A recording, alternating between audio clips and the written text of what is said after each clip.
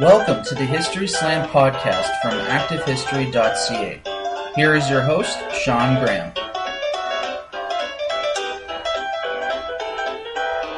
Thank you, Adam, and welcome to the History Slam, everybody. I am Sean Graham, coming at you today nearly live. We're in Ottawa, Ontario, at Carleton University for I think the third time we've been at Carleton to, to do a podcast, and I always love coming down here because uh, it's such a nice little campus and very nice community compared to the downtown uh, hubbub of U Ottawa. So it's always fun to be here. And we're at the Carleton University Art Gallery as part of Northern Scene and our Northern History Week here at ActiveHistory.ca for one of the uh, visual art shows, and it is called Dorset Seen, and it's uh, looks at the art of Cape Dorset.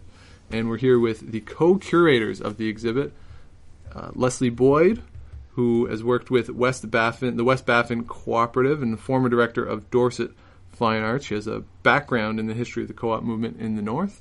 And Sandra Dyck, the director of the Carleton University Art Gallery, who has a Master's of Arts in Canadian Art History and has been with the gallery for almost 20 years, and uh, the director for the past year with a new mandate. So, welcome to the podcast, Leslie and Sandra. Thanks for doing this. Thank you. Thank you.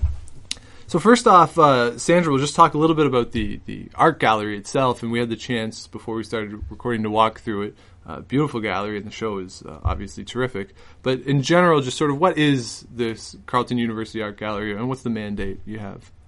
Uh, so the Carleton University Art Gallery has been in existence since 1992, so just over 20 years. Uh, yeah, just over 20 years now, um, and we generally show largely Canadian art and often work created since uh, 1942, which is the year that Carleton History, Carleton University was founded. But we have quite a broad, uh, wide-ranging program. So we do we focus a lot on Inuit art. We show a lot of Indigenous artists, so First Nations artists from across Canada, sometimes internationally, and we also show quite a bit of contemporary art. So our mm. focus, I would say, is largely contemporary, but we mix in the occasional historical exhibition, sometimes uh, European historical, but often Canadian historical. Mm. And Dorset Seen is a good example of really a, an exhibition that mixes the historical and the contemporary together in a very nice kind of encapsulated way. Mm. So is is that what you would say maybe distinguishes it from other galleries in in the city? Well, we're the only university art gallery right. in the region. Um, so we are unique. Shot, shot at you, Ottawa. yeah. Shots well, fired. Very interesting. No, not a shot. not a shot, Sean. Just a factual statement. So what is interesting is that University of Ottawa has a studio program and no mm. gallery. Right. And Carleton University Art Gallery has no studio program, but has sorry, Carleton University has no studio program, but has an art gallery. Right. so it's an interesting mix. Um, and uh, so anyway, so back to just to say that we are the only uh, university art gallery in uh, the region on both sides of the river. Um, and I would say that we are distinguished in one sense by the scholarly ambition of our exhibitions. We put quite a bit into the interpretation in terms of intro panels and extended labels, and really uh, very well researched uh, exhibitions. Hmm. Now, I have a quote from uh, when you were. Uh, I don't know what's the right word. Installed probably isn't the right word. Uh, appointed. appointed yes. as the uh, director here that I found really interesting, uh, given that the gaze of this podcast tends to be in the historical. Uh, so, quote, I'm excited about deepening our engagement in a range of communities. I'd love for the gallery to serve as a third space, neither home nor work, that functions as a forum for dialogue between diverse communities and presents a challenging roster of exhibitions of both contemporary and historic art. Now, I think it's interesting that art can serve as this lens through which we can examine history. Uh, so I'm just wondering what both of your thoughts would be on how does art contribute to our historical conversations that we have, uh, not just in this country, but really around the world? Well, I think this exhibition, Dorset Seen, is an excellent example of how art can serve as a lens on history. Um, the exhibition is really about charting the development of the community and through the eyes of its own artists, how they look at their own lives and it's you know and the lives of the, the life of their community, its significant milestones, uh, the arrival of Christianity, for example, or um, everyday life, or the life of the artist, um, simple moments that happen in inside a house with your family. Um, these are all very, you know, very many moments that make up what we might consider to be history, um, and that's charted very clearly um, and quite passionately by these artists. So, I don't know, Leslie, do you want to? comment Yeah, on I think it's that connection between, well, art as a lens for viewing history is obvious in an exhibition like this. I don't think it always is. Right. I don't think all art necessarily, in, you know, looks back at history or artists are necessarily interested in their own history. But this exhibition certainly is. But it's a very um, identifiable history and very contemporary history. We're really only looking at the development of the modern community here. Right. So we can take that back to uh, the late 50s and early 1960s. So that's the historical period that we're interested in, and we're interested in the development of the modern community. I mean, uh, but what's interesting about some of the contemporary artists in this show is that uh, aspects of their longer term history, for instance, their relationship to the land and its resources and hunting, we're talking about a hunting culture, are still very much a part of their contemporary history. And these artists, for the first time, are incorporating, uh, well, actually, no, I mean, uh, the older Cape Dorset artists certainly looked at their uh, land based traditions. A lot of their prints and drawings were based on that. Uh, but these uh, artists have grown up in an entirely different time and reality, and yet they're incorporating their what we would call traditional history. Right. So this is a very obvious example where, you know, history is uh, important uh, and uh, conscious um, in the intent of the artist and the show. Yeah, it seems like, and just walking through it, it seems like this is a great example of this discussion, this dialogue Yeah. between the historic and the, and the contemporary. Uh, so this the the show is titled Dorset Seen, and Dorset Seen spelled S E E N, as opposed to Northern Scene, which is S C E N E. We did Um, think of It's that a in play on words. Yeah. So d- it's the art of uh, Cape Dorset. Uh, so first of all, where is Cape Dorset? For anyone who doesn't know, because I had to look it up last uh, last night. Cape Dorset is on the southwest tip of Baffin Island. Uh, it's in an area uh, in a uh, area of land called the Fox Peninsula. It's actually its own little island off of the mainland of Baffin Island. So Right. the community of Cape Dorset is on an island that's connected to the mainland uh, by a land bridge at uh, at low tide. Uh, it's called Kinngait uh, by the people who live there, and that word describes the topography. Uh, it's surrounded by high, rolling uh, hills, uh, almost mountains, but not as majestic as you know the fjords of Pangnirtung. Uh, so that's where it is. Uh, the community. Um, uh, the people from that area, the South Baffin Coast, are known as uh, Sikusiilarmiut, and Cape Dorset is one, only one small community that uh, grew up around the Hudson's Bay Company post that was established there in 1913. What is the makeup of the community? Like, who, who, who's living there? Is it mostly Inuit. Inuit, Aboriginal, Abs- In- just in- lo- Inuit. just Inuit, Yeah. who are just who who you know over you know thousands of years and evolution. Inuit I've from sort of the- settled there. Yes, Inuit Yeah. from the South Baffin region. The Sikusilarmutes tra- uh, settled in three communities Cape Dorset, Lake Harbor, which is now known as Kimmirut, and Iqaluit, which is the capital, now the capital of Nunavut. So those, uh, it, before the advent of communities, uh, Inuit lived in uh, camps, largely clan based camps, dispersed along the coast. Uh, and with the effort to bring them into settlements, uh, those uh, groups, who are all culturally related, uh, came together in the community. Now, Leslie, your background is rather interesting because you've lived uh, in Cape Dorset, and you're not a local to Cape Dorset. So I'm just wondering where your interest in the community came from and how you ended up uh, There, being there. Yeah. I went there in 1980 when I was 23. When I finished university, uh, I didn't really know what I wanted to do with a degree in sociology. uh, I had an interest in community development. I was a child of the 70s, so Yeah. you know we were all uh, interested in a lot of us in making a contribution, saving the world if Yeah. possible. um, and I did not want to stay in the city. Um, a bit of wanderlust runs in my family, so I put out the word that I would like to get out of town and uh, uh, work for a summer, um, make some money, and uh, it was serendipitous. Actually, I had a I had arranged to go to the Western Arctic to Yellowknife, and I was going to um, maybe be a cook on the developing pipeline there or something. I didn't really care, uh, but I met through a family connection someone who worked for the West Baffin Co-op, and um, we were set up, and it was a summer job in 1980. That's all it was intended to be.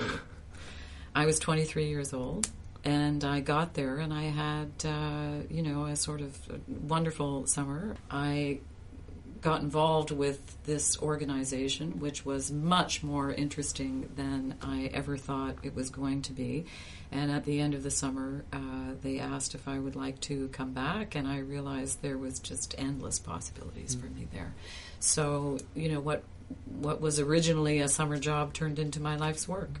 It's all come together now with Dorset Seen, and uh, Mm-hmm. uh, so I'm, you know, the show obviously we, we sort of touched on a little bit, but what is the, the if you had to describe the show, uh, what, what is the show about? One sentence description would be uh, artists of Cape Dorset looking at their own community.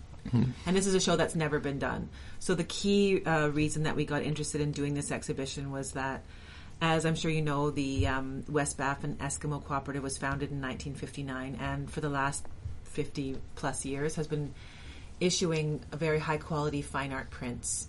Um, and Leslie talked a little bit about the history of the, the community, but this print shop and the experiments in printmaking were happening at the very same time that many people were coming from the outlying clan based camps into Cape Dorset. And many of these people became involved in the art making experiments that were going on that became hugely internationally successful. And that is how the world knows Cape Dorset is through these prints.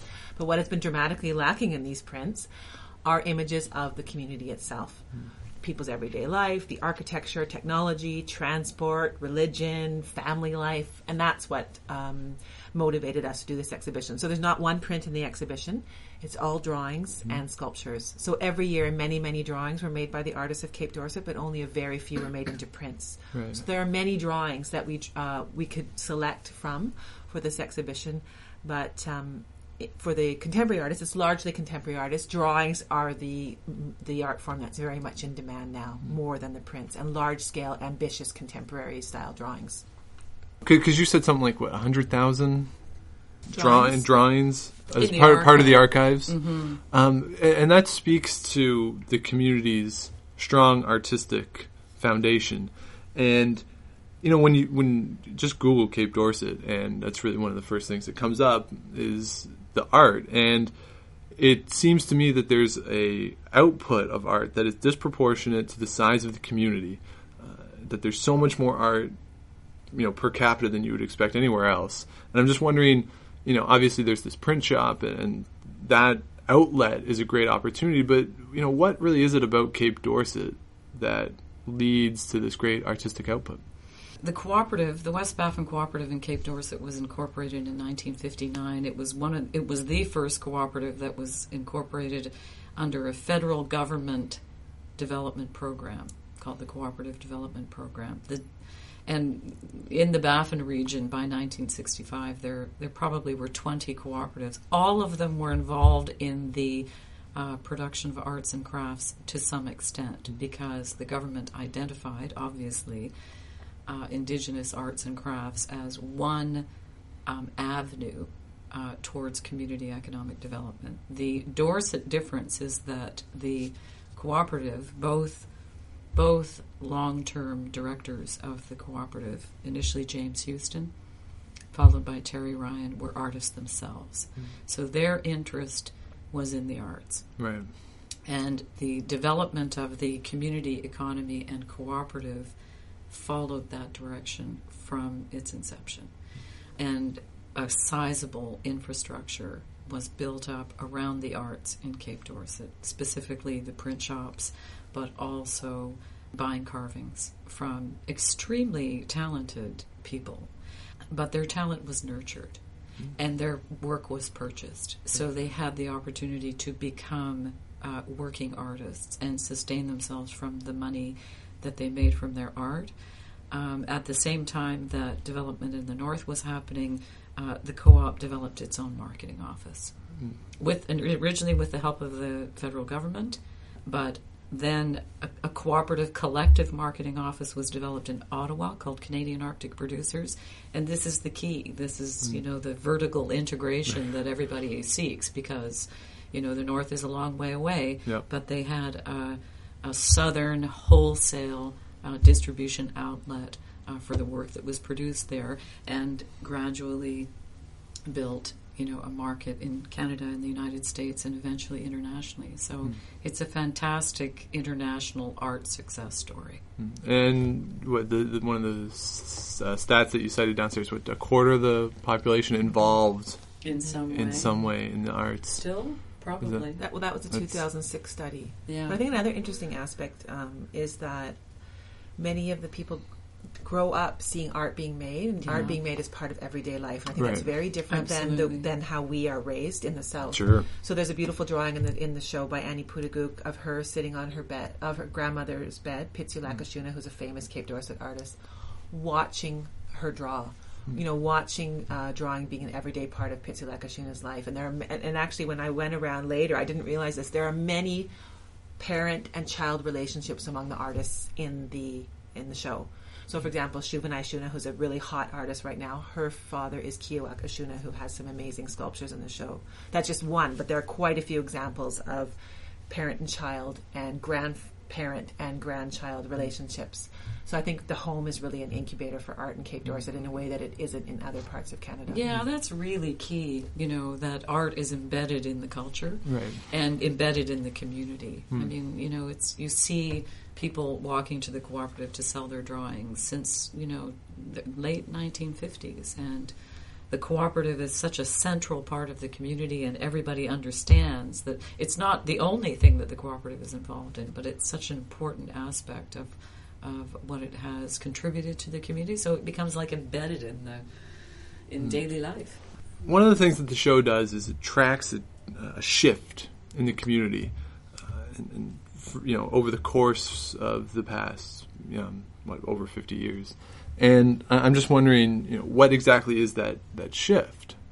Well, the the show starts really with the found, founding of the modern community. Mm-hmm. So Leslie talked about these these clan based camps and how people were t- coming into the community in the late fifties, early sixties, right around the time that the co op was founded. So I, I don't know if I think it's the shift. The biggest shift happens before the show actually mm-hmm. starts in a way that you know there, there's a dramatic change in lifestyle there's a dramatic change from a hunting based economy to a cash based economy um, and there's a dramatic change in terms of housing uh, what people are eating what they're wearing how they're relating to each other the proximity of the houses i mean there are many many changes i mean we can't document all of those changes in art but of course because of course a drawing has to have been made about it for us to be able to Right. include it in the exhibition They are there. yeah. Um, so we did a lot of research trying to find works that documented specific moments. For example, there's one where there's a priest uh, or two priests blessing uh, a couple, and one of the persons is a lay catechist um, who is um, Kananginak Pootoogook's father. Yes. And so that's an example of a shift in, in the community. So you have cr- the oncoming of Christianity, you have people becoming converted to Christianity, and then becoming involved in proselytizing and you know in, in the in the um, workings and operations of the Anglican Church, which was the successful uh, church in in Cape Dorset as opposed to the Catholic. So that's just an example of kind of like a micro shift that happened. Um, but there are many of such moments like that in the exhibition. Well, there's the one group of four drawings that we looked at that shows the the shift from. I think the first one is it's all igloos in the community, and the last one is all houses. And the four, you know, you said it's part of a larger work, and you just selected four that are sort of representative. Uh, but you see this change of from this, you know, with no modernization, I guess, and the, the evolution of the town. It's just beautifully done. Uh, and, and yeah, go ahead. Uh, those are done by, I just want to mention Itilui, Itilui uh, deceased now, part of the archive of drawings that's at the McMichael uh, collection in Kleinburg. Um, but um, yeah, that was part of a larger suite of drawings that uh, documented. I, I think he he might have been asked to turn his attention specifically to uh, the development of the built community. And uh, yeah, starting out with very simple igloos with the you know the kamotik, the sleds, which they used to you know put on top of the igloo to uh, keep the meat caches away from the dogs. Uh, a few you know little uh, buildings there they would have had access to some wood you know from uh, when the, the Skokie sank, for instance, and they raided it for wood when the whalers were up north. And then, you know, coming all the way around to uh, a community with a population of about 13, 1400 people that's crowded Yeah. with houses and overcrowded. also when you come in, you come into the gallery, and the first thing that you see in the show, this opening drawing, uh, which is a vision uh, of the, the modernization of the town with the, the wires and, and the growth of it, that accompanies that piece or those four pieces really beautifully. And, and I, I think it goes to show, and I, I think it frames the show really well because you know, we were talking downstairs that there's this idea of what the North is that we have, and, and when you're confronted with that immediately, you, you realize that this is one is not what the show is about, and two, that's not what the North really mm-hmm. is, and so I think it just beautifully sets up the rest of the show. Mm-hmm. That was certainly one of our goals, is that we wanted to show works that we thought might surprise people, and definitely try to uh, stir up their ideas or change mm-hmm. their ideas of what they think Cape Dorset looks like. Yeah, If they think about it at all. yeah. yeah. Well, because that that gets into another issue that we talked about. Of, I think a lot of the times we group the North together, we lump it together as just the North, even though, as it's defined in Northern Scene, the North goes from coast to coast because it's including northern Quebec and then also in, in parts of Labrador as well. And we just say, oh, it's the North, but we mm-hmm. don't account for any diversity within that that term. Mm-hmm. And I, we're guilty of it, I think, in a lot of respects with Aboriginal communities too. We just say Aboriginal, and it applies to everyone, even though there's great diversity within the communities. Mm-hmm. So I, I'm I'm wondering, you know, how much of the the focus of the show is to put that individuality back into northern art. Lots. I would think it's one of the main uh, focuses of the show because every community uh, has its own specific history. So the regions have their own history, and within those regions, commu- communities developed differently as well. M- m- maybe even because of something like whether there was a Catholic mission there or an Anglican mission there. So even within Nunavut, you will have communities that are uh, largely Catholic now. They have a different um, uh, religious framework, whereas uh, in Cape Dorset, for instance, there was a Catholic mission there, but it never uh, succeeded. It left uh, in the early 1960s, and the Anglican mission became the predominant influence. So, spe- community specific history, but also artistic specific styles. Um, every artist, uh, artists, have tended to be grouped together as a um, almost a generic art form. Whereas, especially if you look at the work from Cape Dorset artists and have a chance to look at the development of one artist's work over time, you'll see the development of a very specific style, very specific thematic interests that someone else never touched. Mm-hmm. I think that's very clear if you pay attention, you know, to the work in this exhibition. Hmm. But the idea of specificity was also quite a strong driver in the works that we selected for the exhibition. Right. So we looked at many, many works for the exhibition, and we would often joke, like we'd look at a work and we would say, too vague. so that was one of our key things. So, for example, we didn't want a man, a sculpture of a man and a woman. We wanted a sculpture of some, like a uh, actual named person. So there's a sculpture that, of Peter Pitseolak, who's a famous um, member of the community, um, well, no longer living, but holding his camera because he was an early adopter of photographic technology and took many amazing photographs of Cape Dorset and the area. Um, there's a sculpture by Ovilu Tunnillie of her own family. So we didn't just want a generic family group. We wanted things that we could identify Yeah. to specific people. And interestingly enough, in more recent years, portraits of named individuals are becoming more prevalent in the art of Cape Dorset. So it used to mm-hmm. just be, you know, a man or woman or a person in the mm-hmm. landscape. But now there's actually people making portraits like Itee Pootoogook and mm-hmm. we know there's Shuvinai Ashoona also doing portraits. So that's an interesting aspect of the more recent development of Cape Dorset art. Well, and the autobiographical intent is relatively new, and that was uh, Annie Pootoogook, who Yeah. really uh, she became uh, the first uh, Cape Dorset artist to. Uh, bring conscious autobiographical intent to her work. This is me. This is my life. Yeah. This is very personal. And uh, she became, I think for that reason, I call her, you know, the first kind of crossover uh, hit from Cape Dorset uh, because the contemporary art world was so intrigued with that personal, very specific statement. And her work is, I, don't know if it's jarring, but if if you have a preconceived notion of what you think Northern art is, it would be jarring because some of it is her. She, she's drawing in her house, and she shows like her son watching a hunting show on TV or him playing uh, Nintendo, and it's, it's a scene that would go on anywhere in the country. But because it's the North and we have this idea of what the North is supposed to be, uh, it, it doesn't really fit with what our notions is. And, and there's a, I think there's a beautiful irony in that her, the the drawing of her son watching the hunting show, uh, because it's what we think people in the North should be doing is just going out and hunting. So, you know, within that autobiographical work, uh, it, was there a conscious choice to select things that would challenge the the audience, uh, especially a Southern audience? Well, Annie can be much more provocative than the work in this Yeah. show represents.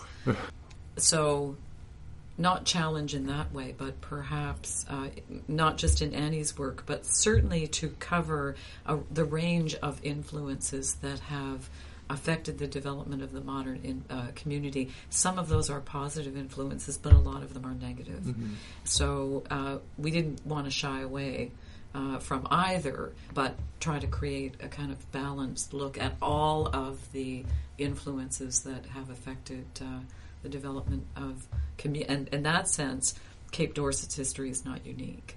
Right. Those influences have shaped the development of the northern community life, and there are you know things to celebrate about it and things to um, you know uh, be very concerned about. But interestingly enough, though, in the history of Cape Dorset art, there have been some things that have been quite challenging to the to the consumers of the art, despite the fact that we would consider them to be very banal things. For example, when Pudlo Pudlat, one of his drawings in the seventies, uh, was made into the print known as Aeroplane, that just basically showed a plane.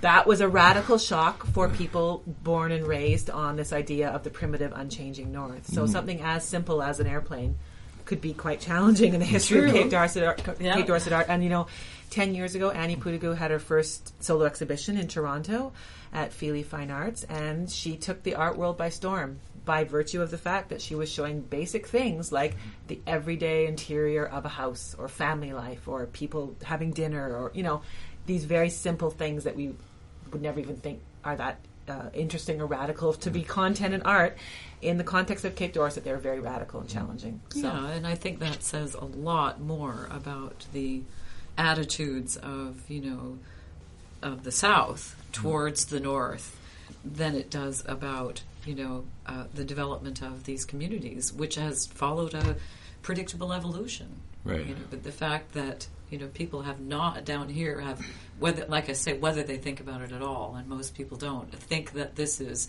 you know surprising or you know somehow shouldn't become part of the uh, you know the artistic expression is shocking. we talked about the, the airplane uh, drawing. You just mentioned that, uh, Sandra, and I think one of the things that's going on here is there's the, almost a clash of contemporary and, and traditional, uh, and the one that I think is just beautiful is the sculpture of the kid with his homework walking home with earbuds, and it's a kid who could be placed in any city, anywhere in North America, but because it's cast in Cape Dorset, again, it has this idea of like, whoa, really? Like like that's not supposed to happen. And, and so it's an interesting message that's coming from this this sculpture. Now I, I'm kind of wondering though about the conflict between traditional and contemporary, and if those two ideas are inherently always going to be in conflict, or can they work together, and, and that we incorporate contemporary ideas into traditional methods, if that's if that's possible. Again, I have to point out how unusual the history of Cape Dorset is. For example, um, the early prints that were made in Cape Dorset are in the medium called stone cut, and lithography was introduced in the 1970s. Is that Uh-huh. right, Leslie? But people had already thought that because stone cut was the first printmaking technique used in Cape Dorset, that it became traditional printmaking in Cape Dorset, which is completely bogus. Lithography, introduced in Cape Dorset in 1970s, was invented in 1798. I mean, it is not a, uh, it's, it's an extremely old, long-standing medium in the history of art making in the world. Um, but for some reason, you know, there are certain ideas about traditional contemporary that are, that are applied to the history of Cape Dorset and by extension uh, to the north. Um, I'm always ca- very cautious about using words like traditional and contemporary because I think they, it depends very much who's defining them and you know when do we define like what what do we consider to be southern canadian traditional culture what does that mean like why is it it's very easy for us to try and say oh well you know maybe it's the late 19 late 19th century that we define as traditional culture for the south baffin people and then everything else is contrasted against that but you know these are very fluid and evolving concepts hmm. and i'm always i'm always careful about trying not to say you know we are evolving and contemporary and people of another culture are traditional and can't evolve. So Right. I don't know if I answered your question, but Well, yeah, from the artistic perspective, from the cultural perspective, I'm not sure that there is a clash so much between the traditional and the contemporary because certainly I think a lot of these artists show how how their traditional or how they understand their traditional cultural ways are, are incorporated in their traditional life. But there is certainly a, a disconnect a cultural disconnect in, in the communities between the way they used to live and the way they live now. But I think that has a lot to do with the trajectory. It's just happened so fast. We have had, you know, uh, generations to incorporate cultural changes, uh, particularly in the realm of technology. Whereas we're talking in in the north, only I think three generations now from the ni- late 1950s, and and you know what has the, the, the rapid cultural change that's happened in the in the span of those three generations uh, has left you know a lot of people literally gasping for breath, and yet it's really remarkable um, how uh, how connected the people are to you know modern uh, ways, um, and I they literally you know kind of have a, a foot in both uh, in both places, um, and uh, it's it's remarkable how how many of them manage that uh, so well. Now, one of the more powerful pieces, in my opinion, is uh, Ashoona's carrying suicidal people. Uh, and it's a drawing of two uh, men carrying two women. I believe they're women. Um, I think I'm not sure actually. I'm not sure, uh, or maybe they're just, either. or maybe they're gender neutral Mhm. figures. Um, no, I don't think they are. That's a good question. Yeah, So, but they're and, and they're they're deceased via suicide, and the piece really is making a, a strong point about suicide in the North, which is a, a major societal issue in the region. So, I, I'm wondering, is the art activists for the community because it's one of the few ways in which people recognize Cape Dorset, and it's it's a major outlet for expression. Uh, so not maybe just culturally, but also making a political point. I'm not 100% sure about that. I, that particular drawing that you're talking about is by Shuvinai Ashoona, and it would be interesting to hear what she actually said about her motivations for making that drawing. It's one of a number she's made on that topic, but there, that's, it's quite an unusual topic for her in her work. That said, she does have a lot of very kind of frightening and macabre content in her work, not necessarily related to suicide or to contemporary issues.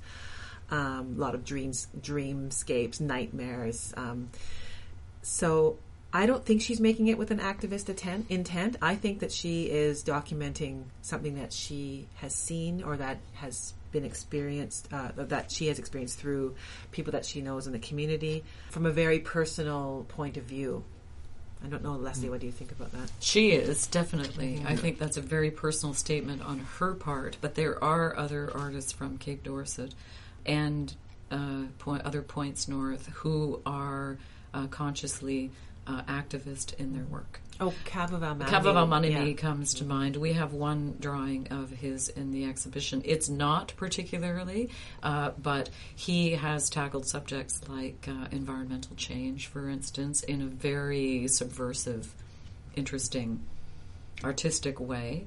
Um, and there are others of the contemporary uh, group who I think, uh, whether they cared to really articulate it themselves, uh, use their work as a way of um, making a political statement about uh, the, the development of the community. Absolutely. Is that is part of that then because it, it's a voice? I mean, it, it's an isolated community, and because it's so well known for its art, the art provides a voice that otherwise the community would not have. Absolutely.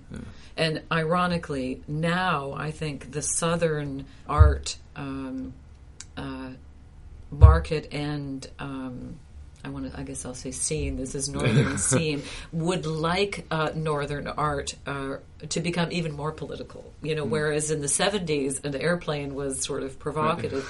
Those attitudes in the South have all come full circle, and now certainly, you know, contemporary follower, followers of uh, contemporary Canadian art are almost wanting more in the way of uh, political statement uh, from the North. Um, I- I'm not sure, as I said, whether in all cases the artist's intent is directly subversive, but it, it it certainly can be. and certainly we're much more aware i think of what the what the conditions are like. Yeah. for example in a community like it's reported in the news. We have the internet. We you know there's much more travel. People are much more aware. And we we, we demand to see the reality of the world in this art. We don't want to see some uh, primitivist uh, exoticized view of what's going on in cape dorset. Unless it's historical. You know, so there certainly is a you know a place for that, but in you know eh, for the art to remain vital, uh, it has to some extent uh, be a reflection of you know their their contemporary reality, and it's becoming it's becoming so more and more.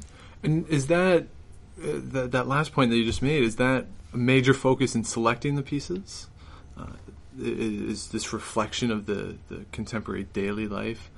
That it be subversive, Yeah, or that it yeah. simply reflect. Well, both, I guess. I mean, uh, is, was there an effort to be subversive, or was it just picking the reflective part of the Yeah. community? No, I don't think there was any effort to be subversive at Mm. all, but simply to represent all of the influences, and some of those, like alcoholism, like uh, uh, suicide, um, touch on very contemporary political issues in the Mm. North. Uh, Right. So Yeah. rather than this broad celebration of the North, it, it's really an identification of daily life, And a very- good, good and bad, a complex reality. yeah, it's it's not a simplistic place, like because nowhere is. I mean, it's a it's a modern community, right. And I think I was talked I talked to Heather Moore on the podcast a couple weeks ago, and one of the things she said about the scene generally is that I think people when they go see it in anything, they'll realize that the North is a vibrant, thriving community with very talented artistic people, and that's really what comes through in the whole scene and generally, but also in this scene uh, with Dorset Seen and uh, th- this vibrance of the community. I think really comes through clearly. And uh, having walked through it, I think that's uh, that, that's one of the things that I'll take away with it. Um, apart from just sort of this identification of daily living in Cape Dorset, but also the the, the changing notion or the, the the that preconceived notions of what the North is. It's not real. As someone who's never been to the North, so it, it's a I think it's a, a nice reflection of that. So and the works are amazing i mean the artists have made amazing works so yeah, it's been a privilege to be able to find those and research them and put them together in this exhibition. hmm And put all the conceptual considerations aside and simply look at the skill Yeah. You know, um, The aesthetics of it is and the beautiful. aesthetics behind uh, what the artists have done. Hmm. Yeah, really remarkable work. It's a it's a wonderful show, and I'm thrilled that I got the chance to walk through it. And it's here until June second, so not just through Northern Scene. It's here for a while, uh, so you can come on down, check it out at the Carleton University Art Gallery, which is in the St. Patrick's Building here on campus, which is near the uh, residence. Yeah, it's at the Commons. north end of the campus, parking lot six. There you go. And the beautiful part is that it's free. You can just come on in, check it out. Tuesday through Friday, 10 to 5. Saturday, Sunday, 12 to 5. And you're going to be open late tonight, though, because it's Swarm. And this is one of the stops on the Swarm tour with all the bus people coming in. and uh, That's right. The so bus people. The bus people. We're open late on Friday night at the Carleton University Art Gallery. it's it's going to be great. It's going to be so much fun. I hope so. I'm looking forward to it. So, uh, so thanks for doing this. I appreciate it. So it's uh, Sandra Dyck, director of the Carleton University Art Gallery, and Leslie Boyd, uh, co-curator of Dorset Seen, and co-curators of Dorset Seen here. Uh, thanks for doing this. I appreciate it. Thank you, thank Sean. you. It's So, great. so we will be back tomorrow with another podcast as we continue Northern History Week here at activehistory.ca. Another uh, piece on the website, another podcast. If you have questions, comments for the podcast, historyslam@gmail.com, Twitter at Dr. Shawnee Fever, and if you're out and you see Enrico Palazzo, please say hi for me.